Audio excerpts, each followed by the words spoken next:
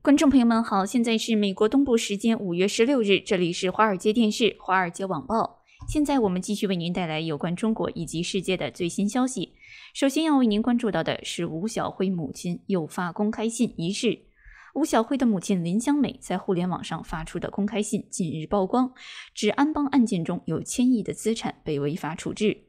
吴晓辉母亲林香美在广为流传的一封题为《关于安邦案件中千亿资产被违法处置的情况报告》，落款时间为二零二零年四月十五日的公开信中指控，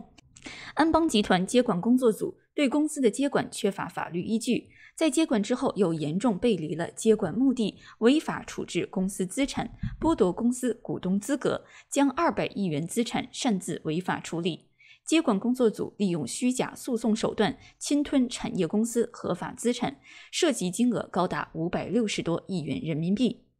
在二零一八年二月，安邦集团被金融监管机构接管；二零一九年七月，安邦保险更名为大家保险。但林湘美指控接管工作组接管依据不足，控制二百六十家产业公司行为于法无据，涉嫌剥夺安邦集团三十七家股东的股东资格，涉嫌违法低价处置安邦集团数百亿核心资产，涉嫌制造虚假诉讼，企图侵吞数百亿合法财产等。林湘美表示，她和律师多次想见在上海宝山监狱服刑的吴晓辉，遭到拒绝。吴晓辉服刑后，家属律师的会面权没有能够得到保障。此前，在二零一九年六月二十五日，林香美在互联网发出了一位母亲的泣血呼吁公开信，表示她二十次探监被拒，并发出她带同“我要见我儿子吴晓辉”横幅到上海监狱管理局上访的照片。此前，二零一七年六月，吴晓辉被捕。二零一八年二月被起诉，涉嫌诈骗六百五十二亿元人民币，以及非法侵占安保财险保费资金一百亿元人民币，判处入狱十八年，以及没收一百零五亿元人民币资产。下面再为您关注到的是来自日经的报道，文章表示，美国政界现在越来越认为，中国政权本质就是邪恶的。文章介绍说，中美关系自上个世纪七十年戏剧性出现缓和以来，现在比以往的任何时候都要糟糕。到目前为止，双方已经成功避免了出现更大的风波，但是冠状病毒的疫情已经暴露出两国关系进一步恶化的可能性。有人去年曾经将日益冰冻的中美关系比作新冷战，但这种描述并不准确。美中关系的大背景与四十多年前华盛顿和莫斯科的冷战期间的地缘政治格局大相径庭。有两个关键因素为北京和华盛顿之间的政治和战略关系激化提供了有效缓冲。首先是与苏联不同的是，中国并没有试图在全世界范围内传播共产主义。过去几年来，华盛顿和北京之间的冲突是在经济和军事方面，而不是在意识形态方面。第二，广泛的贸易和投资关系奠定了中美关系的基础，抵消了其他领域的摩擦。相比之下，中俄之间几乎没有什么贸易和投资往来。直到最近，即使是美国总统川普政府的官员，也倾向于排除中美关系紧张恶化到全面对抗的可能性。但是，两个关键因素正在消散。尤其让人担忧的是，越来越多的迹象表明，中美之间的纷争正呈现出意识形态色彩。美国因为大流行造成的死亡人数已经超过了九年越战期间在战斗中死亡的美军士兵人数。美国人对流行病所造成的破坏性愤怒越来越多地指向中共，认为中共应该为全球卫生危机负责的观点在美国政府和国会中越来越多。支持这种观点的人表示，中国最初隐瞒导致病毒流行危害，导致数以万计的美国人丧生。他们认为，北京灾难性的掩盖反映了中共的邪恶本质。中共压制言论自由，用铁腕统治国家。越来越多的美国政策制定者将中共魔鬼化，将其作为中国问题的根本原因。这项运动看起来越来越像是意识形态战，攻击中国执政党的本质，而不仅仅是攻击他的行为。带头发起这项活动的是美国国务卿蓬佩奥，他声称病毒的爆发源于武汉的一个实验室。而川普政府的一位前高级官员表示，蓬佩奥认为中共政权永远不能被信任。在白宫内部，蓬佩奥并不是唯一怀有这种深度不信任的人。根据华盛顿的消息人士表示，虽然认为中共本质是邪恶的观点还没有成为美国政府的主流，但是这种观点可能很快就会在美国的政策制定者中占到上风。与此同时，中国国家控制的媒体正在推送宣称中共政权优于西方民主制度的消息，指出西方主要国家在中国已经控制住病毒之后很长时间仍然没有完成控制。有一些中国官员兜售阴谋论，认为美国利用香港的民主抗议活动，还有冠状病毒危机，试图削弱中国。这些都是令人震惊的迹象，表明华盛顿和北京之间真正危险和冲突正在增长。如果美国和中国社会仍然受到经济全球化的强大力量和双边经济互动的交错网络约束，那么一场全面的新冷战是可以避免的。但是大流行却正在加速两者的脱钩。根据路透社此前的报道，美国政府正在考虑措施削减对于中国各类供应品的依赖。川普政府利用税收减免和国家补贴，为美国企业把生产和采购业务迁出中国提供动力。眼下优先考虑的是医疗和保健用品，而美国大部分材料严重依赖中国。但是这一政策举措的范围将扩大到包括电力供应、电信、信息技术和交通等相关产品在内的广泛领域。美国现在已经禁止包括华为在内的中国主要电信设备制造商在其第五代无线网络中使用产品，但是此举主要是为了加强国家对中国网络间谍活动的安全防范。在美国政府内部开始发生的是一场影响深远的政策攻势，也就是尽可能的把中国的存在从所有涉及美国国家安全的领域中剔除。这是一场具有远超全球影响力的斗争。即使是美国前总统拜登在十一月的大选中获胜，这样一场高风险的冲突也不会缓解，因为其根源在于习近平的政治纲领。在二零一七年十月的中国党代表大会上，习近平宣称，到二零五零年，中国将成为与美国相抗衡的全球超级大国。他已经推出了一项战略，通过政府在军事和先进技术方面的大规模开支来实现目标。习近平还试图通过他所谓的一带一路基础设施建设，扩大中国的势力范围，同时削弱美国在网络空间和太空领域的霸主地位。习近平的议程激起了美国的本能反感，双边关系甚至在奥巴马政府后期的时候就已经开始紧张，而川普只是加速了这样的趋势。一位正在为拜登提供外交政策建议的前奥巴马政府官员强调，这样的进程不会出现逆转。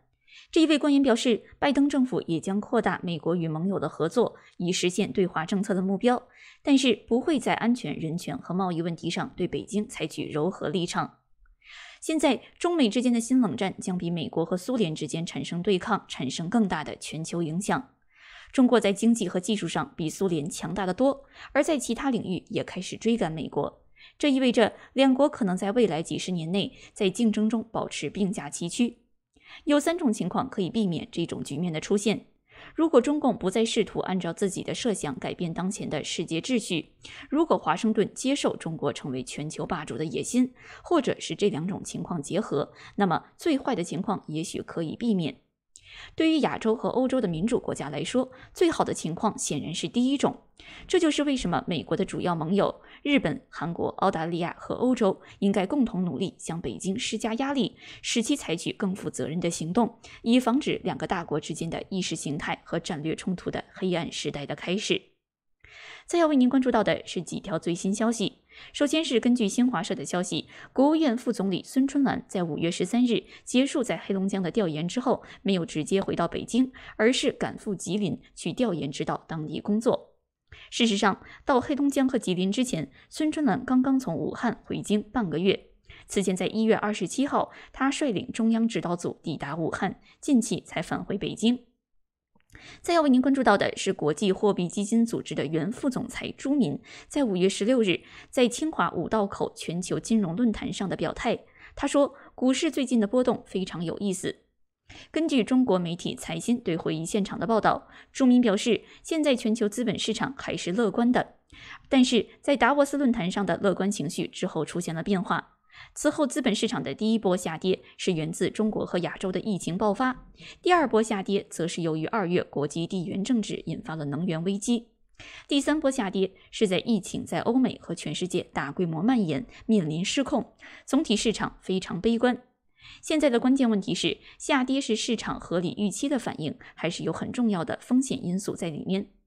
他表示，他与美国的前财政部长萨默斯都认为这是市场对疫情的反应，反映了对于未来发展、对于经济冲击的担忧。风险因素不是很大，总体来讲是市场反应，而不是风险因素。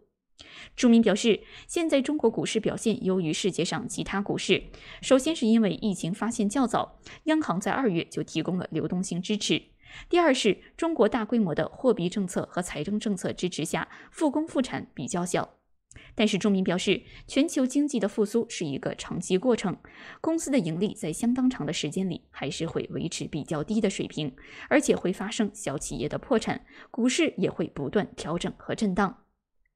再要为您关注到的是欧盟外交与安全政策高级代表的最新表态。根据来自法广的报道，他在发表文章时呼吁，在针对中国这样一个系统性竞争对手的问题上，欧盟作为整体应该保持统一纪律。他指控中方试图利用欧盟二十七个成员国中的不同观点为其所用，并在国际上促成中国式的多边主义。近期，欧盟被指在其自我酝酿的一份提到中国进行虚假疫情宣传的报告中，即欧盟驻华使团在中国日报上发表的一篇二十七个成员国大使共同纪念欧中建交四十五周年的文件事件上，向北京进行妥协。面对质疑，他本人也多次澄清。在最新观点文章中，他举例表示，在疫情中，尽管双方都曾经向对方以及世界的其他地方提供过医疗支持，但是中国却确保让其对外援助的形象世人皆知，欧盟方面却保持相对低调。他表示，现在的关键是欧盟必须从疫情的危机中吸取教训，也包括我们与国际伙伴关系以及与中国关系的教训。他表示，我们应该避免在战略领域过度依赖。而通过建设关键材料库存、缩短以及增加我们的供应链，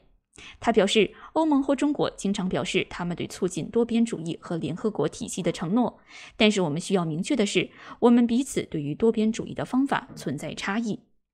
他特别表示，对于中欧关系而言，相互信任、透明度和对等原则是必要的。在中欧关系接下来应该以就中国的战略目标和欧盟的利益进行现实性评估的基础上而继续进行。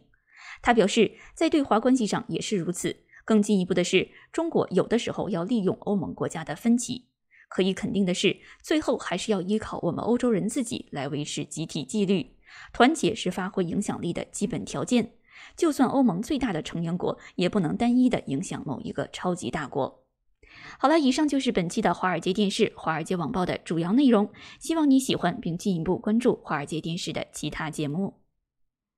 观众朋友们好，现在是美国东部时间五月十六日，这里是华尔街电视、华尔街网报。现在我们继续为您带来有关中国以及世界的最新消息。首先要为您关注到的是来自《纽约时报》的报道：川普与习近平的个人友谊已经荡然无存，而中美关系面临大洗牌。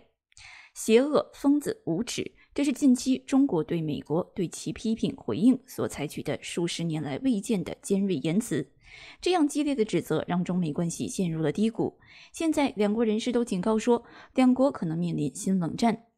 一系列的言论和行动正在巩固北京长期以来的怀疑，也就是美国和盟友一心想要扼杀中国作为经济、外交和军事强国的崛起。强硬派人士呼吁北京更加强硬，因为川普政府居然将美国死亡人数的不断上升原因归咎于中国。而温和派人士则警告说，北京的强硬回应可能适得其反，在中国最需要出口市场和外交伙伴来振兴经济和重获国际信誉的时候，让中国陷入孤立。与美国的冲突正在引起更广泛的贸易、技术、间谍还有其他方面的紧张关系。川普在周四接受福克斯采访时甚至表示：“我们可能会切断整个与中国的关系。”虽然到目前为止，双方的敌意大多局限于口头上。但是也有迹象表明，关系可能会进一步恶化。川普和习近平在一月达成的贸易休战协议可能会破裂，尽管最近双方承诺遵守条款。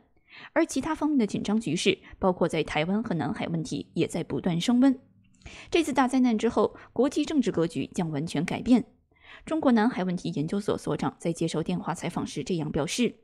中美之间在贸易、科技、台湾、南海问题上的对峙将是更大的问题。紧张的局势在周五也蔓延到了联合国，中国要求美国支付其拖欠的联合国摊款。根据计算，这笔款项超过二十亿美元。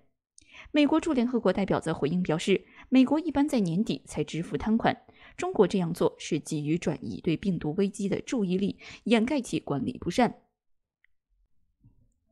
在疫情爆发的最初几个月，的确给习近平带来了政治上的打击。此前，官员们被认为隐瞒了信息。在几周前，川普和习近平通过电话进行交谈，宣称在病毒面前他们团结一致。而川普表示，他对习近平很尊重。习近平也告诉他，各国必须一致应对全球危机。但是，随着美国的死亡人数爆炸性增长，他们之间脆弱的友谊崩塌了。白宫共和党试图转移愤怒焦点，指责中国反应缓慢，并且掩盖了关键信息。反过来，这种反击又重燃了贸易、技术等问题上的争斗。美国在周五发布了新规则，禁止中国电信巨头华为使用美国组件。而最新的民调显示，美国和其他国家的公众情绪也对中国偏于强硬。我和他的关系很好，只是我现在不想和他说话。川普周四这样表示。而中国外交部发言人赵立坚对川普威胁要断绝关系的言论则反应冷淡，表示两国仍然应该合作。美国国务卿蓬佩奥还有其他的一些官员提出，冠状病毒是从武汉的研究所里泄露，但是许多科学家表示，这在理论上是可能的，却缺乏证据。在中国人的眼里，川普政府试图要让中共的统治非法化，同时丑化中国。不仅要丑化中国，也要丑化中国的最高领导人。南京大学国际关系学院朱峰在接受电话采访时这样表示。中国领导人也通过国家媒体反击，表示美国和其他民主国家无视警告，灾难性的误导了这场危机。中国一再高举自己的应对措施，认为这是其他国家应该效仿而不是批评的榜样。这种疯狂的行为显然是美国自中国开始在全球崛起以来焦虑的副产品。民族主义的中国小报《环球时报》周五对川普发表评论，表示这也代表着华盛顿精英们的妒忌和恐慌。美中两国的相互依存关系现在正在进行重大评估。哈佛大学的学者如此表示。而《环球时报》的总编辑胡锡进呼吁中国扩大核武，以应对美国行动。因为我们面对的是越来越不理性的美国，美国只相信实力。他在上周这样写道。其他的鹰派人士则警告表示，中国需要准备好应对台湾和南中国海的冲突。今年以来，美国军舰已经加强了在台湾和南中国海的巡逻。有一些强硬派则走得更远，警告要开战。我们必须把那些被美国收买的汉奸挖出来。北京一个退役少将本月在中国民族主义一个网站上流传的一份政策建议中这样写道：“在北京，好战的声音受到了更加温和态度的挑战。中国外交部也与胡锡进关于核武器的言论保持了距离。尽管存在敌意，但是两国政府还是推动了部分协议的达成，以缓解贸易紧张局势。中国的两极分化其实也很严重。有些人只是认为没有办法，只能反击，但是我不这么认为。”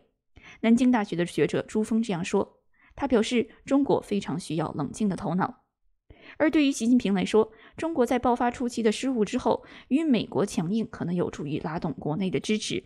但是他似乎对全面对抗没有胃口，尤其是他在恢复中国经济的时候。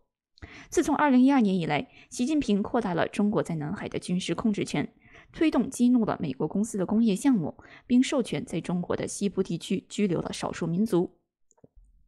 在二零一九年的贸易战之后，习近平似乎有信心控制住局势。根据白宫的顾问表示，去年年底他曾经表示，他宁愿与川普打交道，也不愿意与纠缠于人权问题的民主党人打交道。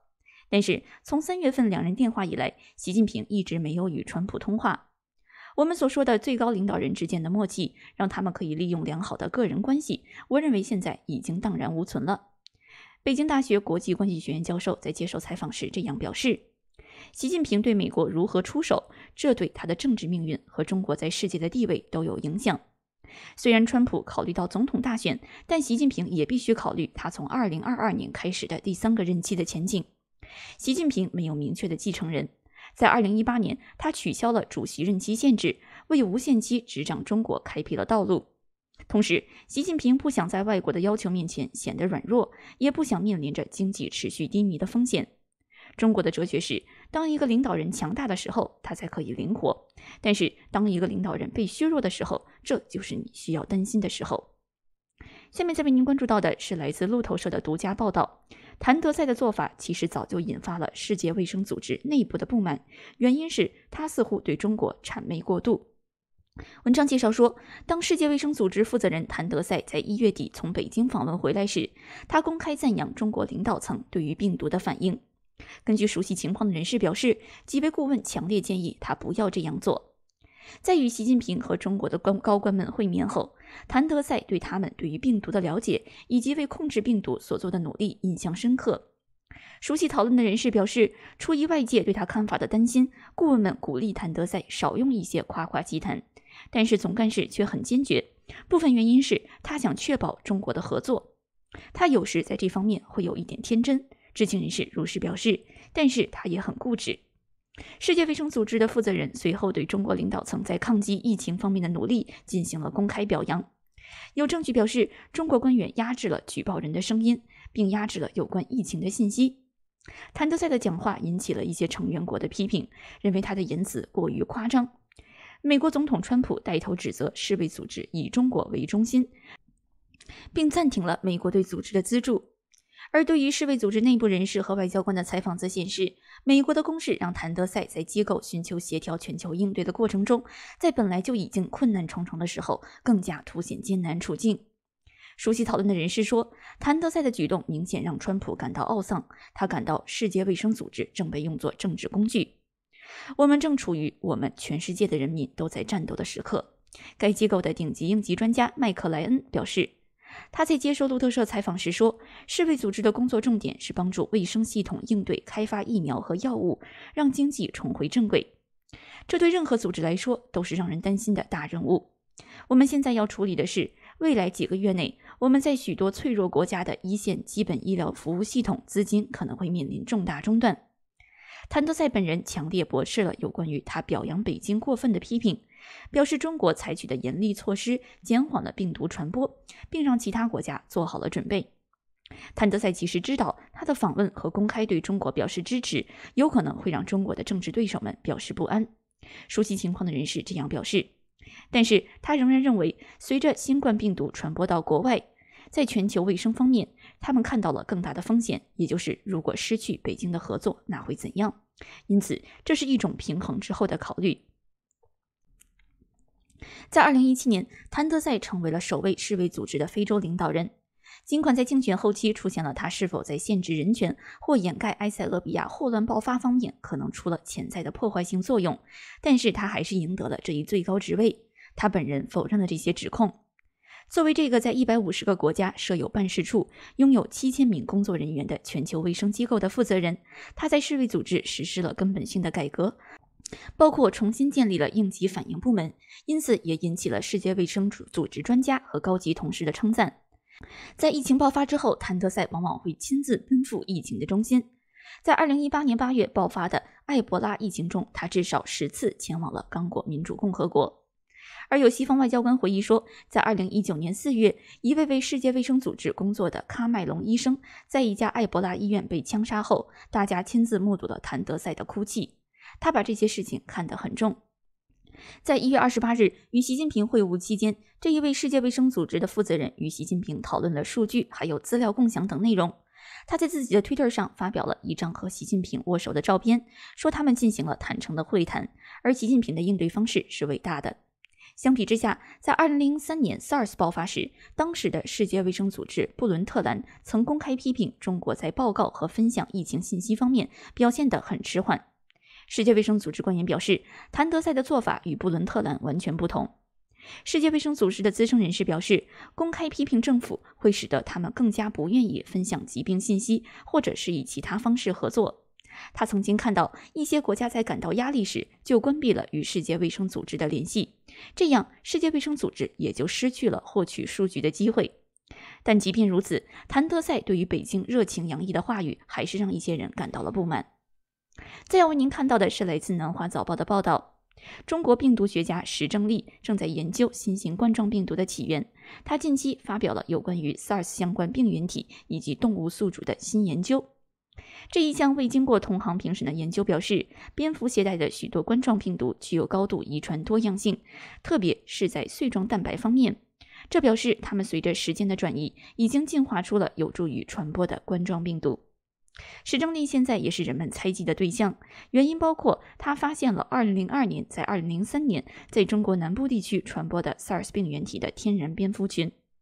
而美国总统川普上个月表示，他对于这一次病毒与武汉研究所的关系有高度的信息，甚至在美国情报部门表示病毒不是人为的，也不是基因改造的之后，仍然表示要调查以确定疫情的爆发到底是天然的动物还是实验室事故。而史正利一直否认病原体是从他的实验室泄露出来的。再要为您观察到的是习近平近期的出访，同样是来自南华早报的文章。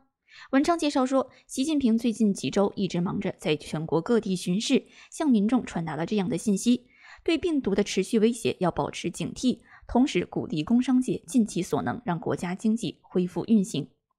虽然所谓的视察之旅的目的看起来可能不言而喻，但是观察者们表示，中国几十年来最有权势的这位领导人也在利用个人露面的机会来推动新的叙事，强化中共的政策议程。他鼓励当地人加快经济的多元化发展。现在，习近平最迫切的目标之一是到今年年底建成全面小康社会。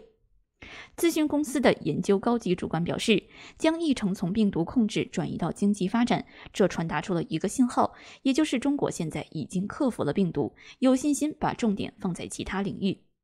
研究者表示，习近平似乎也在暗示，小康社会的目标可以用国内生产总值以外的其他衡量标准来重新定义，包括环境或者是技术领域的进步。获取可靠的信息是包括习近平在内的中国领导人面临的挑战。他最近在全国各地的访问，似乎也是表明他希望把握不同地区和社会阶层的脉搏。而研究者认为，习近平在即将召开的两会之前，正在利用这一些视察巡视来推销后病毒时代的中国新叙事。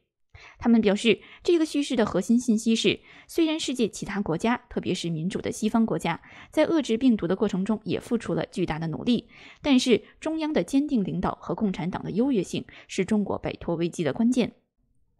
最后，再要为您带来的是资深媒体人王向伟的观点文章：中国不想也不能够领导世界。文章认为，在二十世纪六十年代末到七十年代初，当时中国面临着自一九四九年中华人民共和国成立以来最恶劣的国际环境，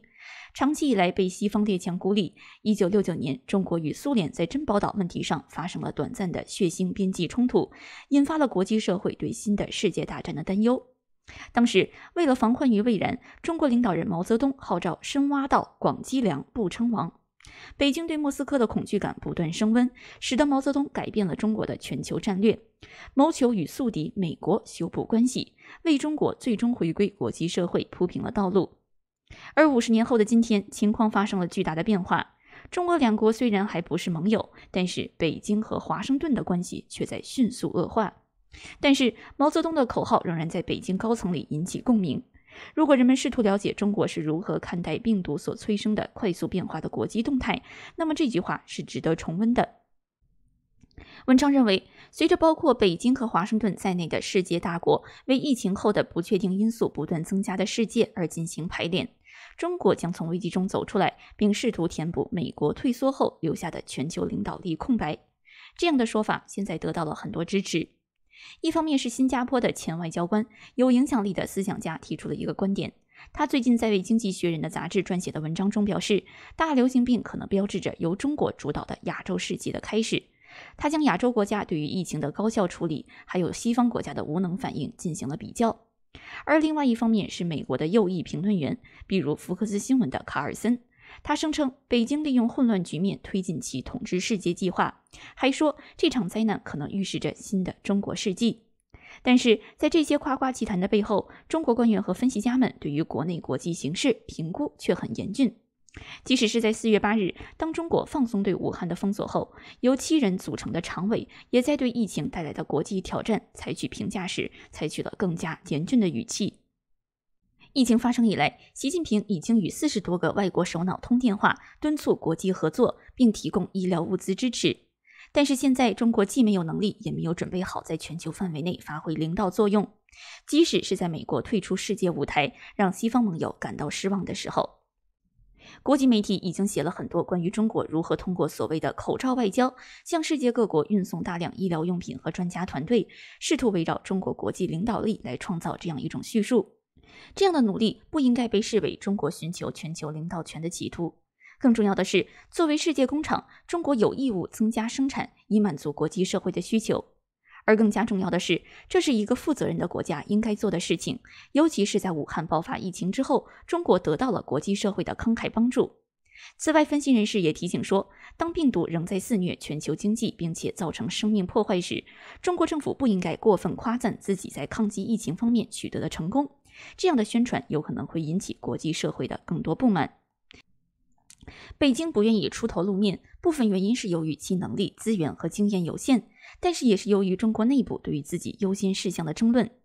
中国领导人长期以来一直认为，无论国际形势如何复杂，中国都必须管好自己的事情，这在当前的危机时刻尤其如此。好了，以上就是本期的华尔街电视、华尔街网报的主要内容。希望你喜欢，并继续关注华尔街电视的其他节目。观众朋友们好，现在是美国东部时间五月十六日，这里是华尔街电视、华尔街网报。现在我们继续为您带来有关中国以及世界的最新消息。首先为您关注到的是来自日经的最新文章。文章认为，现在中美矛盾无解，只有习近平或者是川普两个人中有一个人出局，才能够破局。文章表示，随着冠状病毒危机不断的重塑地缘政治，中美之间对立出现了明显恶化。现在问题的关键是，国际社会是否愿意接受中国的援助，是否愿意接受中国在抗病毒后的世界地位。不久前，华盛顿方面提出了选边站、二选一的说法，但是现在这种压力更多的是来自北京。文章表示，大流行有三个明显的阶段特征。第一个阶段是，其他国家在与中国同流合污，还是在与中国作对之间选择。世界各国眼睁睁地看着中国在一月和二月大胆地封锁了其广袤的国土，一些国家政府提前对公民实施了旅行限制，以澳大利亚和美国为首。在中美对峙的关键战场东南亚，新加坡、印度尼西亚和越南迅速收紧了旅行规则。而柬埔寨、老挝、缅甸和泰国则在三月期间一直维持着与中国公路和航空运输路线。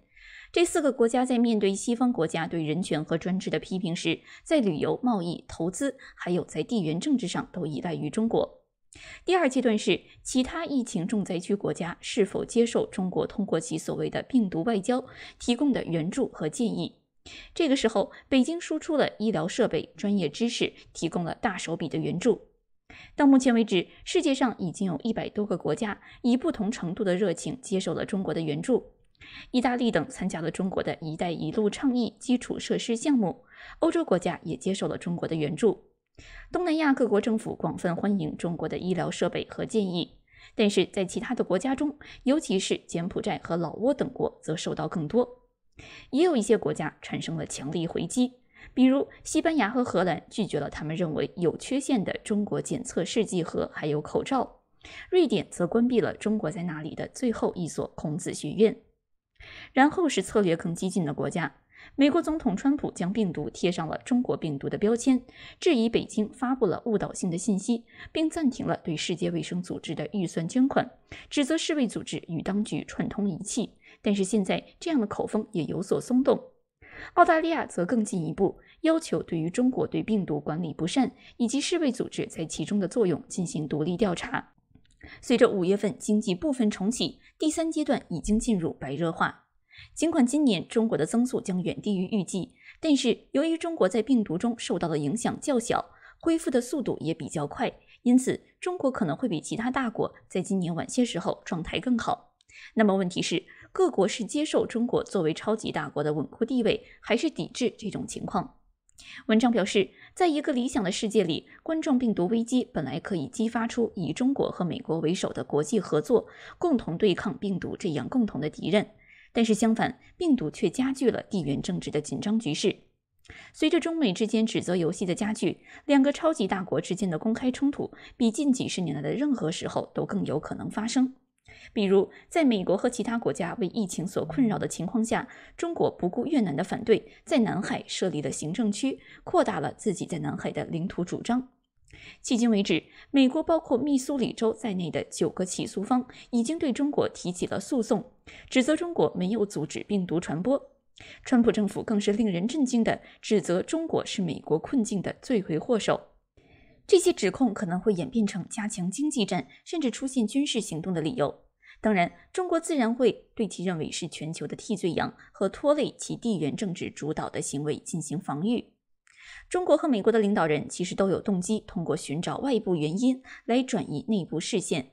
中国经济放缓让国家主席习近平在明年中共百年大庆前在国内面临压力，而川普则面临选举年的挑战。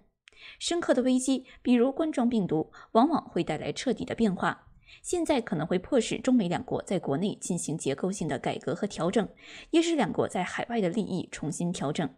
比如，川普可能会在今年的大选中失利，而习近平可能会被中共高层干部逼出局，从而导致继任者摆脱对抗，走向和平共处，并重塑国际秩序，让双方都感到满意，让中国有更大的空间，让美国有足够的力量。虽然这样的局面会导致更多的国际合作以及其他基于国内局势变化的国际合作，看起来似乎有一些牵强，但是不可挽回的紧张局势和地缘政治摊牌对各方的不利都是无限的。再要为您关注到的是中国财经作家吴晓波在个人微信公众号的最新文章，他表示，受到疫情影响，2020年中国乃至全球经济都受到了很大的冲击。根据国家统计局公布的数据，今年全国第一季度 GDP 的同比增长降低了六点八个百分点，这让习惯了中国经济长期高速增长的人感到非常不适。文章认为，过去几年中国政府对两个数据非常敏感，一个是保六，也就是 GDP 的增速要保持在百分之六以上；另外一个是保三，也就是中央财政赤字率不能高过百分之三。而说到赤字，文章表示，财政赤字越高，代表着政府花的钱越多，赚的钱越少。那么，穆迪、标普这样的国际评级机构就会下调中国的评级。之后，想在国际上借钱难度就会加大，同时也会影响市场的信心，导致资本出逃。严重的话，还有可能爆发金融危机。那么，为什么评级这么重要呢？文章援引《纽约时报》专栏作家弗里德曼的话分析说：“目前我们生活在两个超级大国之间，一个是美国，一个是穆迪。美国可以用炸弹摧毁一个国家，而穆迪可以用评级毁灭一个国家。相信我，有时我真说不清楚这两者谁的权力更大。”与普遍观点相同，吴晓波在文章表示，在本年度内，中国 GDP 想要保六，基本已经无望。即便二三四季度能够实现百分之六的增长，平均到全年大概也只能实现百分之三的年度 GDP 增长。而要实现这个目标也并不轻松，国家必须放大招。现在有很多经济学家建议，没必要恪守百分之三的财政赤字约束。政府必须大胆实行扩张性的财政政策和货币政策，并且力度要高于2008年的四万亿计划，要达到五至七万亿元。但是这样会不会造成财政赤字上升过快、债务杠杆过高呢？文章分析指出，不需要担心，有四个理由。首先是中国政府的负债率和发达国家相比比较小。从2008年到2017年，日本、美国、英国、欧盟的财政赤字占到 GDP 的平均比重分别是6.8、6.7、6和3.5个百分点，而同期中国不到百分之二，所以仍然有提高债务空间的规模。第二，中国是一个高储蓄率的国家，很多居民都希望能够买到风险低、利率高的国债来代替银行的定期存款。而截止二零一九年底，美国国债的规模已经达到了二十三万亿美元，中国的国债余额大概是二点四万亿美元，只有美国的十分之一左右，发行量和投资需求相差比较远。因此，未来中国政府或许可以尝试用较低的成本发新债还旧债。第三，中国政府有两个巨大的资产包，首先是庞大的国有企业资产，另外一个是对土地资源的配置权，资产数量远远超过国债余额。因此，分析指出，不用担心政府还不了钱。第四，债务的杠杆率是动态的概念，它的变动取决于国债余额和 GDP 的相对变化。分子是国债余额，分母是 GDP。如果想要降低杠杆率，不应该只考虑降低国债余额。如果 GDP 的增速够快，那么杠杆率就不会提高。文章分析说，目前中国已经实施了适当宽松的货币政策。根据央行数据，四月份新增人民币的贷款是一点七万亿元，同比上升了零点六八万亿元，创下了二零一七年以来的新高。此外，到四月末，广义货币 M2 的余额是二百零九万亿元，同比上升了百分之十一点一。这说明中国金融机构对实体经济的信贷支持力度还在进一步增大。这样看来，积极的财政政策是不是就不再需要担心赤字的问题呢？作者表示，应该谨慎的其实是资源错置的问题。文章引述哈耶克、米塞斯等奥地利经济学派指出，当新增的货币通过信贷进入市场，银行的利率被压低，这就很容易误导大家进行一些错误的投机行为，而企业家盲目扩张、投资者疯狂炒股炒房等行动也会出现。文章表示，钱不可能无限制的流入市场，利率也不可能一直保持在很低的水平。所以到了一定时间，央行肯定会踩刹车，来减缓货币的发行量，提升利率。而这个时候，之前把摊子铺得太大的企业家，日子就变难了。借的钱太多，利息越来越高，贷款难度越来越大，现金流也变得脆弱。为了不破产，企业家就会开始贱卖土地、裁员，工期太长的项目就会被放弃，变成烂尾楼，经济就开始走下坡路了。文章最后回忆到，在一九二九年之前，美国经历了所谓的颗粒之繁荣，出现了工厂产能不断扩大、股票市场过度投机的现象。后来，美联储采取了收缩货币供应量，银行、企业和普通家庭的资产负债表都出现了恶化，最后使得美国经济陷入了大萧条。最后，文章分析认为，实施扩张性的财政政策和货币政策之后，要警惕那些资源的错位配置。所谓的不该建的房屋被建了，不该拿到贷款的人拿到了贷款，不该出现的岗位被创造等等。否则，等到国家收紧政策的那一天，市场就容易出问题。最后再要为您关注到的是来自南华早报的报道。文章认为，现在由于地缘政治的紧张，不能够寄望于独立调查寻找病毒的源头，但是病毒的源头又必须调查。文章开篇介绍到，在2003年，在中国有一种未知的疾病，使得数百人感染了肺炎并死亡。世界卫生组织的一支国际团队飞到中国帮助处理疫情，那是十七年前的事情。那场疫情就是 SARS，当时有八百人死亡。而十年后，在二零一四年到二零一六年西非的埃博拉疫情爆发期间，世卫组织也在当地协调遏制和追踪病毒工作。引入一个国际组织团队来调查病毒是有意义的。世卫组织得到了一百九十四个国家的支持和赞助。在一九四八年成立时规定的任务是让全体人民达到尽可能高的健康水平。但是记录显示，世卫组织对流行病的应对也并非一刀切。取决于所在国的疫情爆发和应对能力。现在，世卫组织也缺乏进军一个国家调查卫生状况的权利，因为它必须要被所在国邀请。现在，随着三十多万人死亡，让世卫组织参与到实地调查，帮助寻找中国中部地区首先发现的病毒来源，比近代史上任何一次疫情都更加政治化。美国和中国正在利用世卫组织作为代理来攻击对方，作为更广泛的全球影响力和权力冲突的一部分。从大多数人的看法来看，研究人员只是想寻找大规模疾病的根源，以消除病情的影响。但是，华盛顿和北京的政治却一直在阻挠这样的过程。纽约非营利性外交关系委员会的法律学者和高级研究员表示：“我们现在已经看到，中国和美国都是通过地缘政治视角对流行病做出反应，这非常具有破坏性。没有人担心 SARS 如何影响国际体系中的权力分配。”他表示，当时他曾经在事后建议世界卫生组织重写国际卫生条例。这样规则的修改是为了促进疫情报告的透明化，并帮助打击疾病跨境传播所带来的日益严重的威胁。总共有一百九十六个国家签署了国际卫生条例标准。二零零三年，布雷曼在应对 SARS 的前线，当时这一位流行病学家被从孟加拉国的传染病工作中抽出来，领导世界卫生组织在中国的调查小组。他表示，那是一个与我们现在所处的时代非常不同的时代。每一个人都团结在一起，想知道什么是寻找到预防疾病的最佳方法。没有任何政治立场。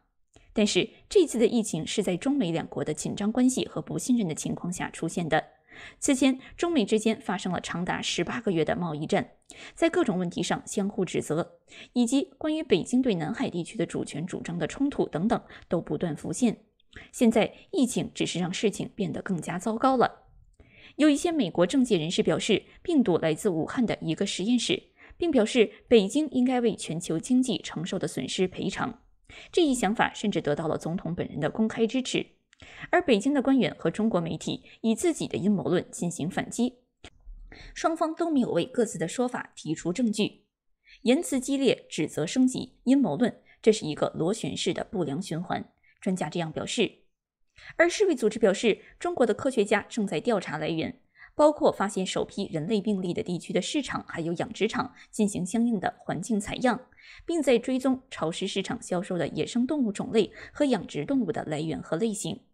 与此同时，自中国向世卫组织发出警报以来，已经过去了四个多月。中国表示，已经从武汉市场采集了数百个样本，其中有几十个带病毒的样本，但是却没有公开分享更多细节。目前仍不知道中间动物或者是病毒是如何进入人体的。在这段时间里，已经有数百万人被感染，还有很多人失去了生计。因为为了阻止疾病的传播而出现了经济封锁，世界各地企业纷纷停业，各国政府正在花费数万亿美元进行救助，而世界领导人也希望得到有关于病毒源头的答案，以防这样的情况再次发生。作为这些要求的一部分，欧盟将在五月十八日召开的世界卫生大会虚拟会议上提出一项决议，要求国际社会对现在的卫生对策进行独立审查。自二月份进行了为期一周的联合调查后，世卫组织上周表示正在与中国进行谈判，调查来源。中国迄今为止没有同意进行国际调查，只表示支持在疫情结束后的适当时机，由世卫组织牵头进行全球调查。中国外交部发言人上周表示：“我们反对的是美国还有其他一些国家试图把病毒的来源政治化，他们基于有罪推定发动国际调查。”而所有的这些情况都凸显了全球卫生系统处理流行病的结构性障碍。国际卫生条例规定，对可能具有国际重要性的疫情爆发处理，应该不惜一切代价尽早进行调查，必要时应该包括世卫组织。规则还要求对疫情爆发的范围要完全透明，但是这样的国际条例却没有执行能力。各国是否要求世卫组织与他们合作，在当地防控疾病，要看他们自己的能力和倾向。如果一个国家有手段的话，通常不接受侵入其领土的行为，因为他们希望自己能够在这样的任务中发挥主导作用。但是对于中国而言，问题不仅仅是科学知识。中国不是一个拥有公开、自由和公平新闻媒体的地方，也不是一个民主国家，没有独立于政府的科学家群体。因此，这就造成了对流出的信息的不信任。关键的问题是哪些方面会被纳入这次调查？哪些地方会被允许进入调查？如果他们不能进入一些被美国政客们认为与疫情有关的武汉实验室，那么这些人就会对评估的可信度提出质疑。但是如果根本不进行任何调查，那么将会造成更大的风险。如果我们不知道源头在哪里，这些动物可能会继续散播病毒，我们就永远无法阻止病毒的传播。好了，以上是这一时段的华尔街电视、华尔街网报的主要内容。希望你喜欢，并继续关注华尔街电视的其他节目。观众朋友们好，现在是美国东部时间五月十六日，这里是华尔街电视、华尔街网报。现在我们继续为您带来有关中国以及世界的最新消息。首先要为您关注到的是中国方面的最新消息。根据在五月十六日的新闻联播所披露的中央巡视组进驻现场画面，当天十九届中央第五轮巡视的五个巡视组全部完成了进驻工作。巡视组会在三十五个中央和国家机关单位开展为期两个月的常规巡视。特别值得注意的是，中央第四巡视组组长的名单对外公开，巡视单位是中央政法委和国家信访局，而组长是赵凤同。赵凤桐是辽宁人，是一九五四年十二月生人。根据公开资料，他长期在北京任职，担任昌平区区长、区委书记。二零零六年担任北京市副市长，当时北京的市长是王岐山。二零零八年十二月，赵凤桐跻身北京市委常委，担任过教育工委书记、海淀区委书记、市委秘书长、政法委书记等。二零一四年六月，赵凤同担任中央纪委驻国土资源部纪检组组长。二零一七年七月去职。此前，十九届中央纪委已经展开五轮巡视，五轮巡视中，赵凤同都是第四巡视组的组长。在二零一八年的第一轮和第二轮巡视中，他率队到四川、贵州以及重庆、陕西开展巡视。二零一九年的第三轮巡视中，他率队赴中国商用飞机有限责任公司、中国航空工业集团有限公司以及中国航空发动机集团有限公司巡视。在第四轮巡视中，他巡视的是最高法和最高检。现在他继续担任第四巡视组组长，这一次巡视的单位是中央政法委和国家信访局。此前的巡视工作中，他所执掌的第四巡视组拿下了不少大老虎，可以说反腐成绩十分响亮。在二零一八年，中央第四巡视组先后在贵州、四川进行为期三个月的巡视，在巡视进驻期间，贵州先后有两大老虎被查。二零一八年四月一日，贵州省委原常委、副省长王晓光落马。五月四日，时任贵州省副省长蒲波任上被查。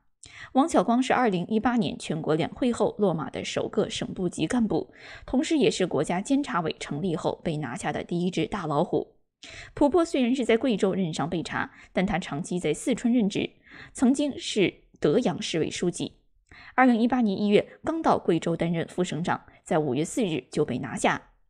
二零一八年十月，赵凤桐又率队对陕西开展了一个月的专项巡视。在巡视组进驻期间，陕西省委常委、秘书长钱引安落马。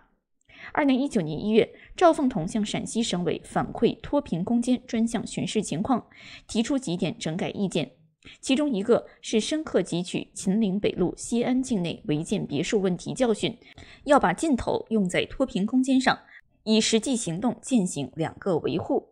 现在赵凤同挂帅巡视中央政法委。根据新闻联播的报道，各中央巡视组将紧盯党中央重大决策部署落实情况，查找贯彻落实中的形式主义、官僚主义问题，查找权力运行和监督制约存在突出问题。查找领导班子建设、选人用人和机关党建存在突出问题，查找整改不到位、虚假整改等突出问题。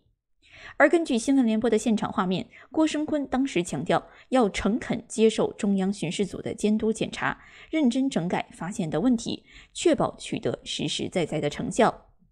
再要为您关注到的是来自中国媒体《中国经营报》的报道。根据中国经营报五月十六日的消息，SOHO 中国的前总裁严岩在二零一八年离职时，上市公司在六年前向其出售了八百一十八万股购股权，但是他从来没有行权。在二零一二年，上市公司就向他授予了这一些购股权，行权价格是每股五点五三港元，而当时 SOHO 中国在二级市场的每股价格是五点六七港元。严岩在 SOHO 中国任职时间长达二十一年。从 SOHO 中国离职时授予购股权的六年时间里，他至少可以让其中五分之三的购股权变成上市公司股份。如今，SOHO 中国的每股价格不到三港元，如果当时严严行权，那么将导致数千万元的投资损失。文章分析认为，这反映了 SOHO 中国的尴尬处境。上市公司位于北京、上海核心区的商业物业，但是在二级市场却没有办法释放价值。在推进所谓开发销售向开发自持模式转型的背景下，从二零一四年开始，SOHO 中国还是通过大宗交易方式抛售了接近三百亿元的商业资产。资产抛售后所收回的现金，相当一部分通过高比例分红的形式流向了潘石屹、张欣夫妇设在开曼群岛的家族信托，而不是留在上市公司用于再投资。在 SOHO 中国大举兜售商业物业的过去几年里，上市公司极大提高了分红比例。最近六个财年里，SOHO 中国累计实现了一百三十五亿元的净利润，而分红派息总额则超过了一百二十六亿元。其中，潘石屹、张欣夫妇分得了八十一亿元。文章介绍，严岩从 SOHO 中国离开后，随即出任了黑石集团亚洲房地产部的董事总经理。此后，市场上相继传闻黑石集团将收购 SOHO 中国持有的多处核心商业物业，并计划对上市公司私有化。